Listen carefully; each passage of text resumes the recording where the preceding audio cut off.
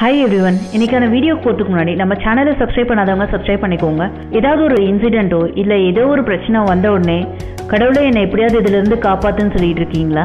உங்களுக்கான கதை இது. ஒரு விவசாயி இருப்பாரு. அந்த விவசாயியோட நிலத்துல நிறைய வந்து பயிர் வச்சிருப்பாரு. அதுல நிறைய காய்கறிகள் விளைஞ்சிருக்கும். அந்த காய்கறி எல்லாம் எடுத்துட்டு அவர் மார்க்கெட்டுக்கு கிளம்பி போவாரு ஒரு வண்டியில வச்சுட்டு. அந்த வண்டியில அவர் போயிட்டு இருக்கப்ப ரோட்ல நடுவழியில போறப்ப அந்த வண்டியில இருக்க டயர் வந்து ஒரு பள்ளத்துக்குள்ள மாட்டிக்கும். அதை மாட்டிக்கிட்ட உடனே இவர் என்ன பண்றதுன்னு தெரியாது. கடவுளே என்னை எப்படியாவது இதுல இருந்து காப்பாத்து அப்படின்னு சொல்லிட்டு யாராவது இருக்காங்களா நக்கம் பக்கத்துல தேடுவார். யாருமே இருக்க மாட்டாங்களா. மறுபடியும் கடவுளே நீதான் என்ன காப்பாத்தணும் அப்படின்னு சொல்லுவாரு சுத்தி தேடுவாரு. அப்பயுமே அங்க யாருமே இருக்க மாட்டாங்க. உடனே இதுக்கு வேற ஆப்ஷன் கிடையாது. நம்ம தான் வந்து இதை ட்ரை பண்ணி ஆகணும்னு சொல்லிட்டு அந்த டயரை வந்து அந்த பள்ளத்துல இருந்து மூவ் பண்ண ட்ரை பண்ணுவாரு.